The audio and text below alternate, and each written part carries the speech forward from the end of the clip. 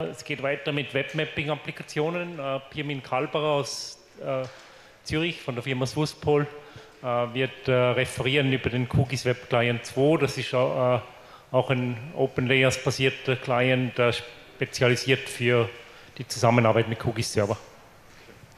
Ja, besten Dank. Also wir gehen jetzt wieder zurück nach zwei Dimensionen. Qt 2.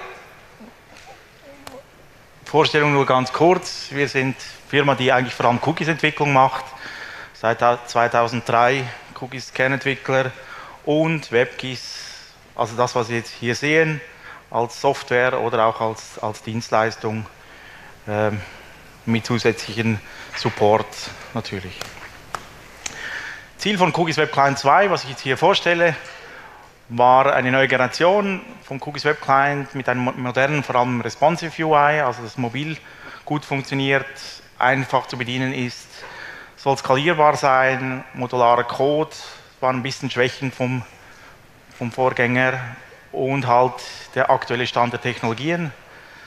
Als wir begonnen haben, war es noch OpenLayers 4 und der ist OpenLayers 6, React.js, Webpack und so weiter. Gehe ich noch ein bisschen darauf ein. Das war das Ziel und die GUI-Vorgabe sah so aus und so ist eigentlich auch mehr oder weniger herausgekommen. Das heißt, halt auf verschiedene Größen bezogen, angepasste GUIs, äh, gewisse Teile, die wegfallen, andere Teile, die angepasst werden.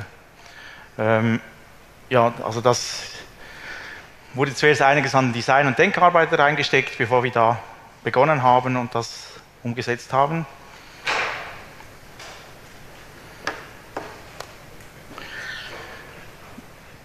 Ein weiteres Ziel ist eigentlich, dass es weit, dass Cookies Cookies Web Client 1, dass es funktioniert mit reinem Cookies Server, also dass es keine zusätzliche Software braucht. Wir haben auf der Serverseite Cookies Server, der Cookies Projekte analog dem Desktop Cookies darstellt. Und das ist eigentlich die Stärke von Cookies Server. Ich habe die identische Kartendarstellung plus auch PDF-Druck mit den Druckvorlagen. WMS mit den spezifischen Erweiterungen für Cookies Server, das kann im Cookies Web Client dargestellt werden. Also das ist quasi minimale, äh, der minimale Betrieb, den man mit Cookies Web Client machen kann. Technologisch React.js, Redux, OpenLayers 6. Also wir haben uns da zuerst haben wir auch Leaflet unterstützt, aber wir haben uns da konzentriert auf OpenLayers. Ähm, gibt ein bisschen weniger Arbeit und, und in unserem Umfeld ist OpenLayers einfach häufiger eingesetzt. Dann halt auch Modernisierung. Die JavaScript-Welt wurde jetzt ein bisschen komplizierter, sagen wir, für, für Nicht-Entwickler.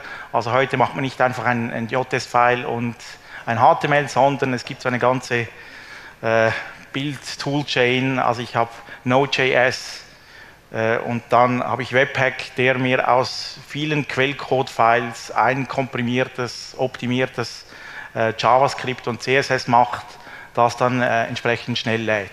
Und auch nur die Teile enthält, die ich für meine Applikation benötige. Das war halt auch ein technischer Schritt in dieser Implementation. Und dann auf der Serverseite natürlich Cookie Server.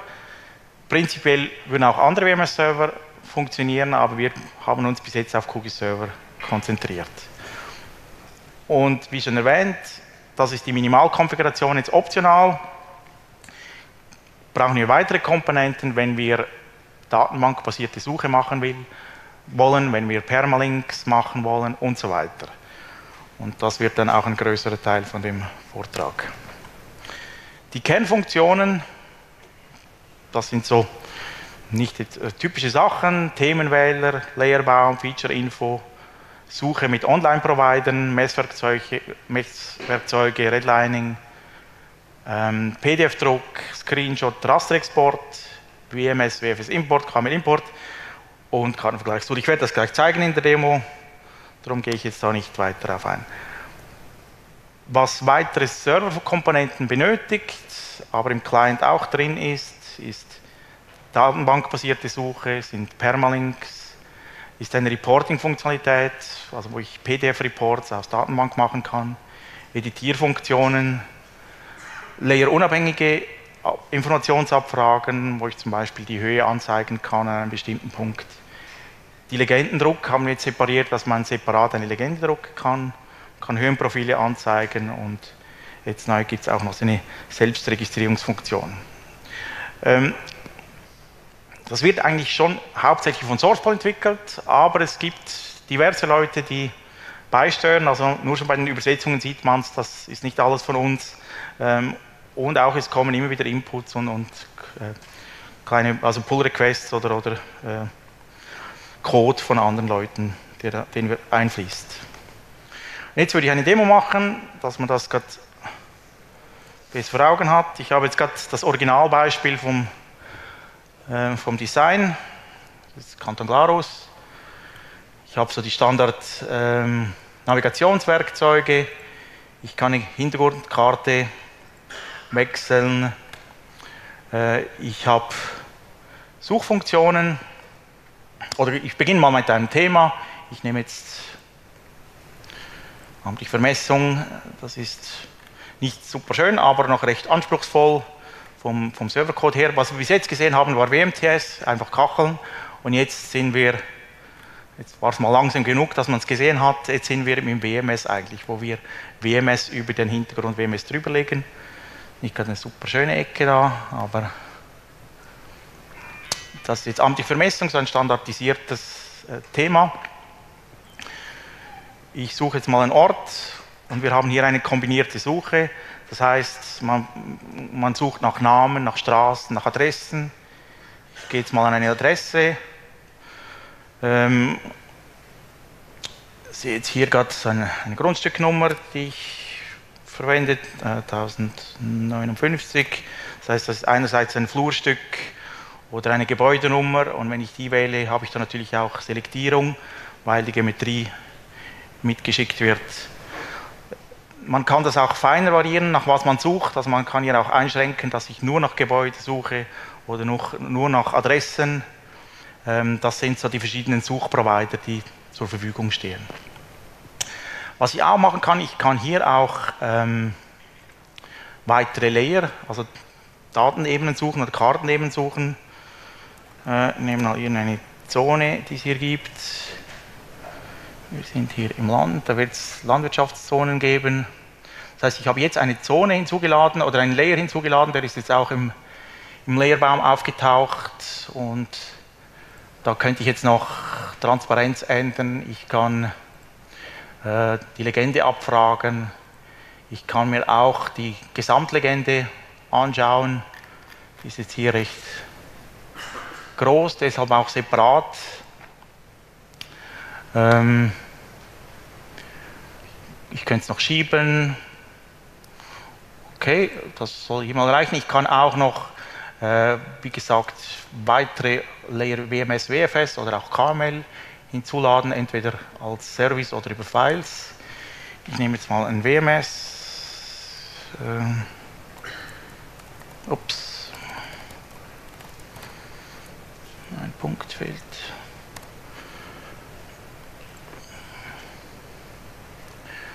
Jetzt kommen hier, das sind jetzt sehr viele Layer. Nehme ich auch wieder was mit Zonen. Was könnt ihr haben?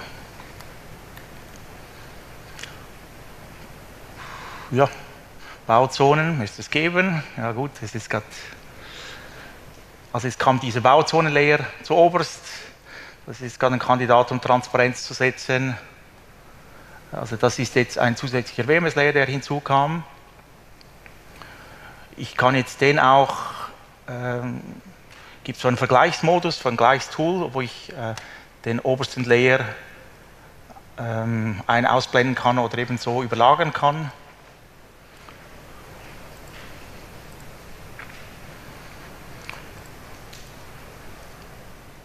Bei den Werkzeugen gibt es Messwerkzeuge, die sind Position, Länge, Fläche. Bei der Länge ist noch ein bisschen speziell, dass hier gerade das äh, Profiltool äh, gekoppelt ist, wo ich dann auch Höhenprofile erhalte, wenn der Service im Hintergrund läuft. Äh, ich habe Redlining-Funktionen, ähm, wo ich Punkte setzen kann, ähm, Schrift oder Polygone. Da kann ich äh, verschieden füllen, Transparenz setzen. Das ist relativ einfach bedienbar und ähm, die kommen dann auch im Druck oder im Austausch. Das ist das Teilenwerkzeug. Also wenn ich jetzt hier so eine Short-URL erzeuge, dann sind diese Redlining-Geometrien, die ich jetzt gerade gemacht habe, die sind da enthalten. Im Gegensatz zum, zur URL, die oben ist, da ist auch sehr viel enthalten, aber da beim Redlining, da fehlt dann der Platz, ähm, um das auch hier reinzukriegen. Aber grundsätzlich kann man auch die, die ungekürzte URL austauschen, so als Startadresse. Das ist das Permalink-Tool. Dann gibt es noch eine Raster-Exportfunktion und dann wichtig, das muss ich jetzt zeigen, die Druckfunktion. Ähm, hier habe ich die Drucktemplates aus dem QGIS-Projekt zur Verfügung. Ähm, wir haben jetzt hier was, wo das Redlining drin ist. Hoffe, das funktioniert dann auch. Ich kann noch einen Text hinzufügen jetzt bei dieser Konfiguration. Ähm, und jetzt kommt die Druckfunktion ist ein PDF downloaden. Geht jetzt gerade ein bisschen länger. Ah, doch, es kommt. Ja, es ist ein relativ einfaches Template mit dem Logo, meinem Text und dem Inhalt, den ich gerade gesehen habe. Ich hätte es noch rotieren können, aber da ist einfach das Template, das in QGIS hinterlegt wurde.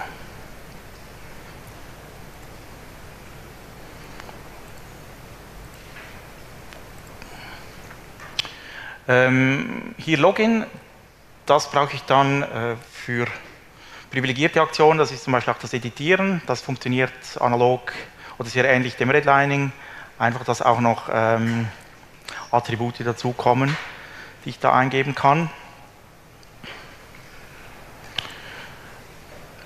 Es gibt noch so einen, einen Fullscreen-Modus, wo ich dann noch weniger Randplatz brauche. Oder das Umgekehrte ist äh, der Mobilmodus, den ich jetzt hier nur simulieren kann, stimmt es nicht hundertprozentig, weil das Logo wäre jetzt auch noch kleiner im richtigen äh, Mobilmodus. Äh, es ist hier nicht ganz optimiert wie in Wirklichkeit, aber man kann sich vorstellen oder man sieht schon, dass die, diese Anordnung der, äh, der Buttons auch recht gut funktioniert für Mobilmodus. Man kann auch hier von jetzt so einen Shortcut auf den Startbildschirm nehmen und hat dann ähm, so eine App-ähnliche Applikation, die einem Browser läuft ohne Adressbar. Das heißt, es fühlt sich dann eigentlich wie eine App an.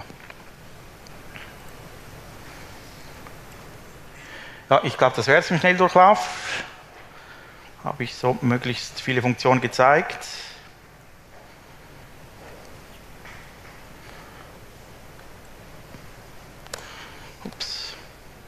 Jetzt komme ich zum Backend. Das äh, haben wir jetzt QVC Services genannt und ist modular und eben Microservice orientiert. Das war, ist auch ein Titel und da gehe ich noch darauf ein.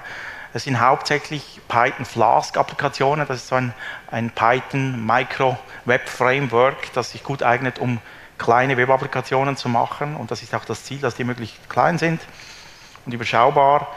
Integrierte API-Dokumentation mit Open API, also Swagger und das Ganze kann man deployen entweder als Docker-Container oder auch als WSG.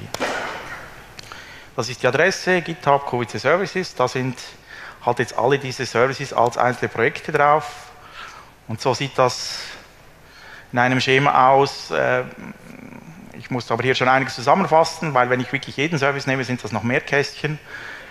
Ich habe so verschiedene Stufen. Ich habe Browser, ich habe einen API-Gateway, der auf die verschiedenen URLs auf die Services verteilt und dann habe ich die Frontend-Services und dann die Backend-Services, die ich jetzt in diesem Vollausbau nicht mehr direkt anspreche. Also QGIS Server ist hinter einem OGC-Service, Jasp Reporting ist hinten dran und ich habe einen Config-Service und natürlich die Datenbanken, die auch in einem privaten Bereich sind, einem internen Bereich.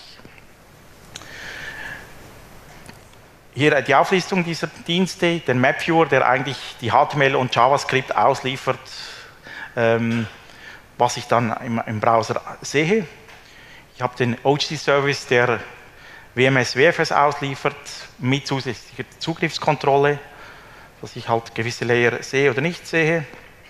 Und der Druckservice ebenfalls Zugriffskontrolle, welche Templates darf ich verwenden, welche nicht.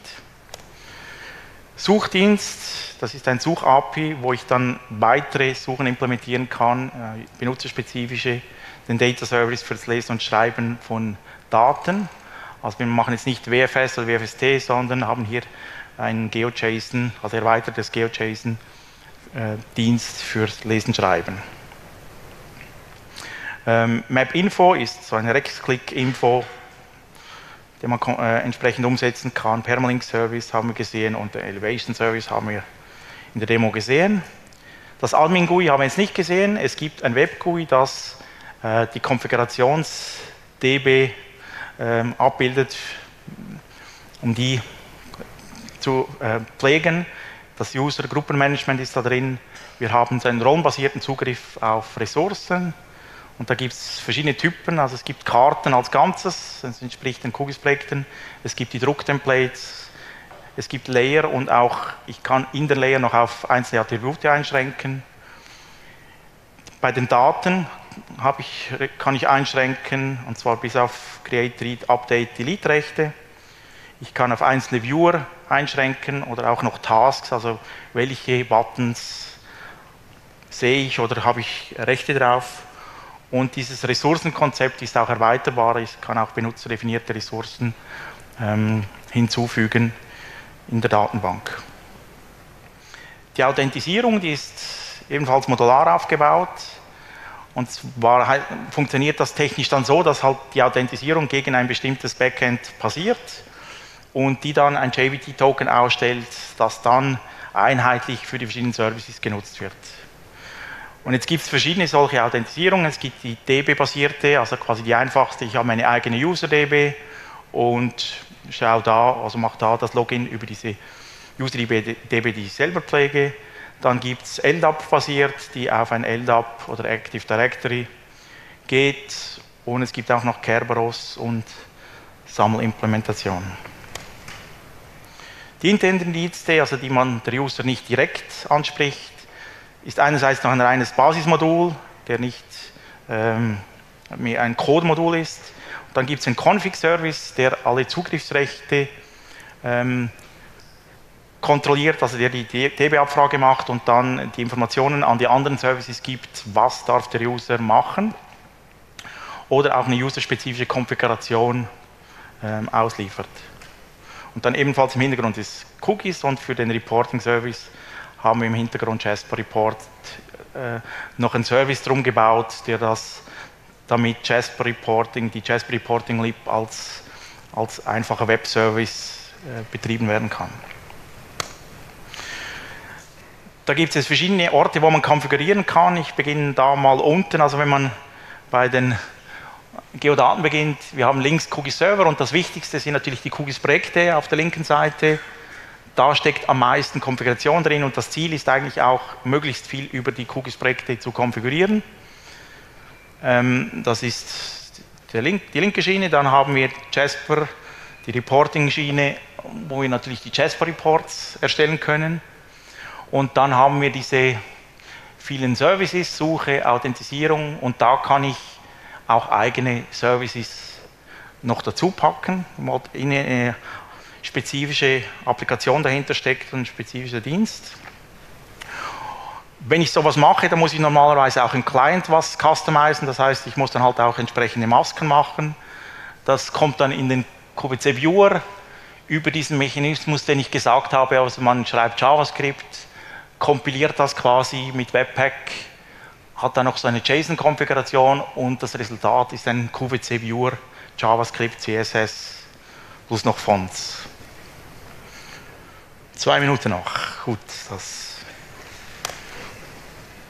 Ich muss noch was über Microservices sagen, weil ich habe es im Titel ähm, und es ist nicht nur jetzt äh, wegen dem Schlagwort, sondern wir sind eigentlich unterdessen wirklich überzeugt, dass es auch ähm, eine gute Sache ist. Also Aufteilung in möglichst kleine, möglichst lose gekoppelte Dienste, ähm, Schnittstellen, die untereinander kommunizieren. Also wir haben hier so ein REST API, das einerseits zum Teil public ist und zum Teil halt auch interne Dienste, wie sich die dann, äh, wie die untereinander äh, kommunizieren. Betrieben wird das häufig mit Docker. Das ist eine Container-Virtualisierung, wo man auch darauf achtet, dass man in einem Container möglichst nur ein Service betreibt, kann dann diese Images über eine Registry verteilen. Das sind einzelne Dienste und wenn ich diese Docker äh, Container betreiben will, produktiv, dann brauche ich noch irgendwas, eine Software, die schaut, äh, dass die immer laufen und da ist dann äh, die größte Verbreitung eigentlich Kubernetes, das so ein System bietet, das auch bis zur automatischen Skalierung dann reicht.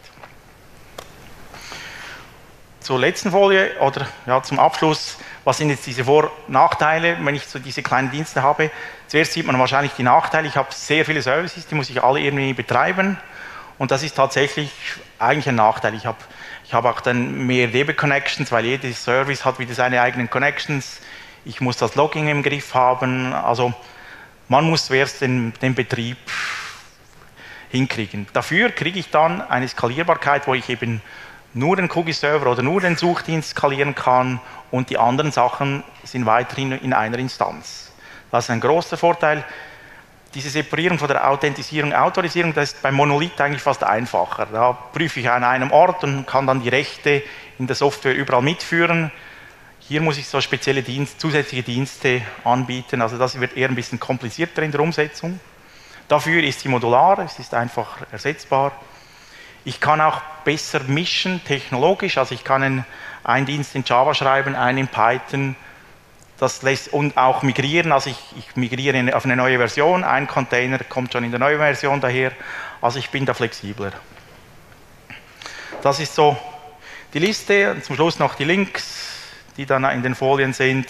Also wir haben uns auch Mühe gegeben, recht viel Dokumentation zu schreiben und unten noch ein paar Beispiele, wo man das öffentlich anschauen kann. Gut, das war's. Dankeschön.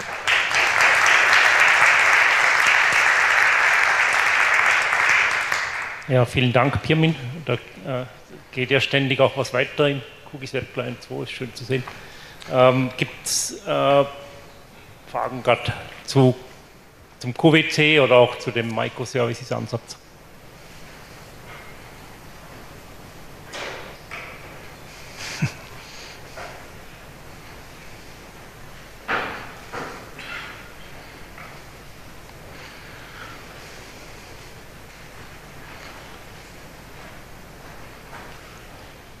Dann hätte ich nicht passieren müssen. Habt, ja. habt ihr schon Feedback auch vom Betrieb und so mit dem Microservices-Ansatz von den Kunden, die es einsetzen? Oder? Ja, die Kunden haben jetzt viel Zeit oder viel Arbeit investiert, um solche Docker-Umgebungen aufzubauen. Aber das wollten sie eigentlich sowieso. Eigentlich die IT will das auch, weil das kommt eigentlich auch in anderen Bereichen. Und an sich macht es, glaube ich, so die, so nähern sich die Geo-Leute eher auch der IT an, indem sie einfach, sind jetzt halt ein paar Container, die da noch dazukommen und die IT wird sich jetzt, also die, die, die, Schwelle nimmt ein bisschen ab, also, aber eben, es haben schon viele, kommen, wir haben jetzt schon viel Erfahrung gemacht, viel lernen müssen, aber ich glaube, das, das kommt man in den Griff und das ist wirklich, hat schon eine Zukunft. Wolltest du was?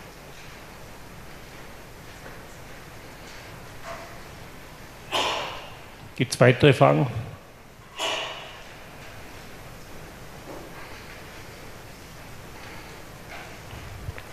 Ja, und sonst, aha. Ähm, können beim Redlining dann auch irgendwann mal geometrische Formen konstruiert werden? Ein Kreis zum Beispiel?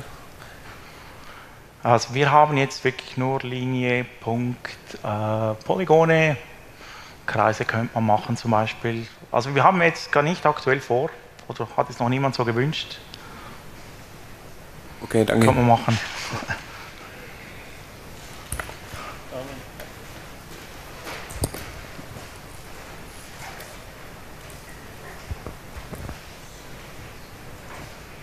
Ja, danke für die Vorstellung erstmal. Ähm, ich frage ich frag mich noch bezüglich der Einbindung von 3D-Daten, Stadtmodelle zum Beispiel oder externe Viewer. Die Frage kommt jetzt, also ist jetzt interessanterweise gerade mehrfach gekommen. Ich meine, da ist auch unsere favorisierte Umgebung Cäsium eigentlich so. Ähm, und wir haben jetzt noch nicht ähm, darüber nachgedacht, wie, wir es dann, wie eng wir es integrieren können. Für mich ist ein 3D-Viewer eine relativ separate Geschichte, eigene Navigationsarten. Es ist, ist eine recht separate Sicht. Ähm, wird wahrscheinlich kommen und am ehesten mit Cäsium. Auch noch weitere Docker-Container für Teils generieren in 3D. Also da ist eigentlich mehr Arbeit drin, dass ich die Teils produziere. Also wie kriege ich die Daten rein? Ich meine, einzelnes Gebäude ist noch ein Problem oder eine Sache, die können wir einfach, die können wir machen, aber ganze Stadtmodelle, da muss ich vorprozessierte 3D-Teils haben, haben wir vorgesehen und da ist eigentlich dann äh, noch recht viel Arbeit drin, dass diese Teils dann effizient vorhanden sind.